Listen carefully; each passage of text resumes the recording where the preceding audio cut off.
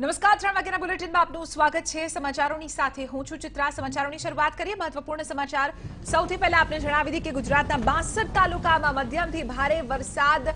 અત્યારે જોવા મળી રહ્યો છે સૌથી વધુ વલસાડમાં અઢી ઇંચ વરસાદ નોંધાયો છે આપને જણાવી દઈએ કે વડોદરામાં પણ સવા બે ઇંચ વરસાદ ખાબક્યો છે હાલ જે વિગત મળી રહી છે તે અનુસાર ગુજરાતના બાસઠ તાલુકામાં મધ્યમથી ભારે વરસાદ આજે દિવસ દરમિયાન જોવા મળ્યો છે સૌથી વધુ વલસાડમાં અઢી ઇંચ વરસાદ પડ્યો છે આ સાથે આપને જણાવી દઈએ કે વડોદરામાં પણ સવા બે ઇંચ વરસાદ ખાબક્યો છે અને આગામી બે દિવસમાં પણ આ તમામ જગ્યાઓ પર ભારેથી ભારે વરસાદની આગાહી વ્યક્ત કરવામાં આવી છે ખાસ આપને જણાવી દઈએ કે સૌથી વધુ વરસાદ વલસાડમાં છે ત્યારબાદ સુરતમાં ત્યારબાદ વડોદરામાં વલસાડ બાદ આપણે જણાવી દઈએ કે સવા બે ઇંચ વરસાદ ત્યાં પડ્યો જેથી